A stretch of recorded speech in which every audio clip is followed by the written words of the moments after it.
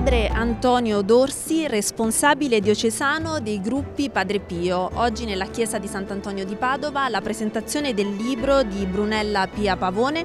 Il libro si intitola Anime alla ricerca di Dio con San Pio da Pietrelcina e questo evento rientra negli eventi programmati in occasione della festività di San Pio che cade il 23 settembre.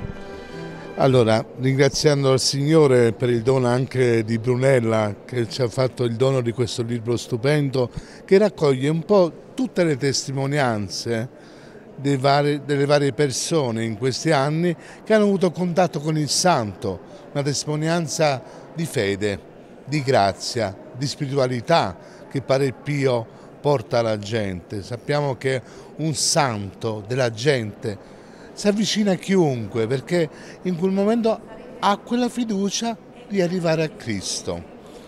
Noi in questi giorni stiamo preparando questa novena e poi ci sarà questa grande festa domani sera la veglia.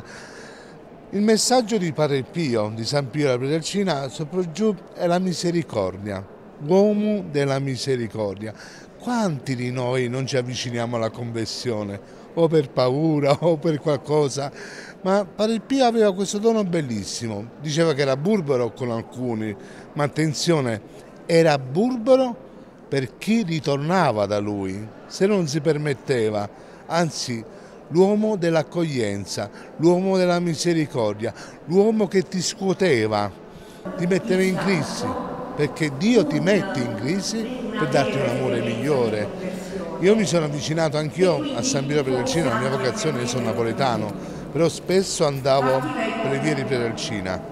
È da là che ho conosciuto questo santo che mi sono avvicinato al francescanesimo, a San Francesco. E Padre Pio mi ha guidato anche nella mia storia, ogni giorno alla ricerca della verità, dell'essenziale delle cose. Adesso mi trovo in questa parrocchia, con questo gruppo che ha fatto tanto. E fa ancora tanto per la Casa Sollievo della Sofferenza a livello di carità e di preghiera.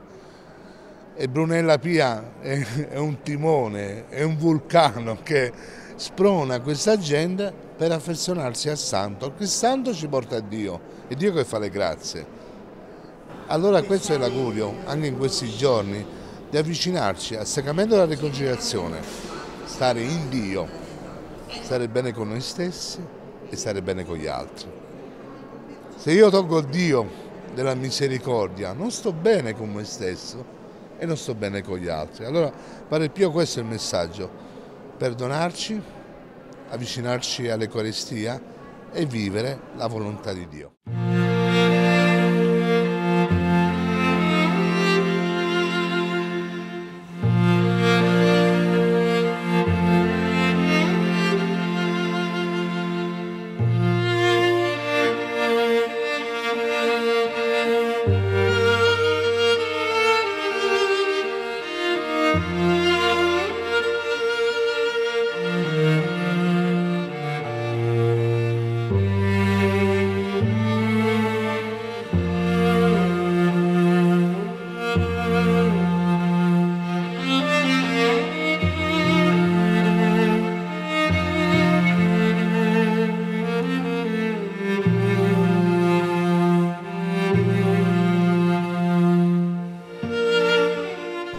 Padre Pio ha sofferto tanto proprio fisicamente, proprio per questo motivo la gente si rivolge a lui nei momenti di sofferenza, perché Padre Pio capisce la nostra sofferenza.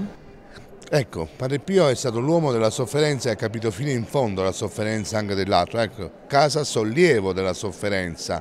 Ha voluto questo ospedale bellissimo perché solo chi soffre può capire la persona che soffre, ma chi non soffre non lo può capire. Un esempio, se io sono stato in ospedale per esempio 10 giorni e so che cos'è il letto dell'ospedale, in quel momento se mi trovo un amico che soffre in ospedale, io vado, perché ciò che significa che ho provato anch'io la sofferenza, è la stessa cosa che Padre Pio ha provato la sofferenza, ma attenzione, sofferenza e obbedienza alla Chiesa che rappresentava Dio. In quel momento attraverso quella sofferenza ha un dono bellissimo di stare vicino ai sofferenti, di cui è nata la Casa Sollievo della Sofferenza. E ancora tanta gente oggi che soffre si avvicina a questo santo, anche i giovani. Se noi ci troviamo a San Giovanni Rotondo, quanti giovani passano là? Con una sofferenza proprio altro morale, quella morale, non tanto quella fisica, ma pare più dispuote e ritornano a Dio. Torniamo per un attimo alla preghiera, ai gruppi di preghiera. Con l'autrice abbiamo rimarcato proprio questo. Il libro lancia questo messaggio, la forza della preghiera. Ecco, ritornando un po' in questi due anni non ho avuto occasione di incontrare a livello diocesano i vari gruppi che ci sono qua in provincia di Campobasso, nella diocesi di Campobasso di preghiera. Ce ne sono eh, quattro gruppi forti L'occasione, la preghiera sia per noi la vita. Ecco, la preghiera che ci dà quella pace, quella, quella gioia nell'andare avanti. E questi gruppi di preghiera, specialmente questo qua che si trova qua in Sant'Antonio di Padova, il gruppo del Rosario, si trova ogni mese qua per pregare con l'Eucaristia, il Santo Rosario e l'adorazione. In quel momento loro sono contenti, hanno questo desiderio della preghiera, perché chi ama la preghiera ritorna alla preghiera, perché la preghiera ti dà quella forza e quella speranza di andare avanti. È la fede, Signore aiutaci a pregare. San Pio, aiutaci a pregare e a portare il messaggio di Dio. Amici di Telemolise, il nostro viaggio nella chiesa di Sant'Antonio di Padova a Campobasso termina qui. Grazie per essere stati in nostra compagnia, vi do appuntamento al prossimo viaggio in Molise. Vi ricordo che potete seguirci al canale 11 di Telemolise, 96 in Abruzzo, 880 nel Lazio. Potete rivedere tutte le nostre puntate collegandovi al sito internet www.telemolise.com.